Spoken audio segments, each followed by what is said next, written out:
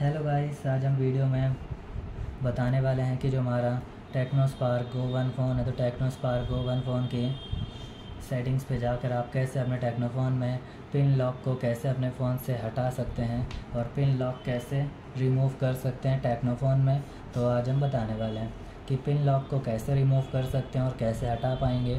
तो video start कर लेते हैं तो आइकन शो हो रहे हैं। तो आपको सेटिंग्स पे जाना है और क्लिक करते ही फ़ोन सेटिंग्स से ओपन हो जाएगी। ओपन हो जाएगी तो आप कैसे पिन लॉक को हटा सकते हैं और रिमूव कर सकते हैं? तो आपके पास सेटिंग्स आ रहा है, देख सकते हैं। तो आपके पास सेटिंग्स आ गया, जिसके ज़रिए आप पिन लॉक को हटा सकते हैं। सिंपली आपको जाना है स्लाइड करते हुए। पासवर्ड सिक्योरिटी पे, फिर आपको इस पर जाना है पासवर्ड डाल देना है।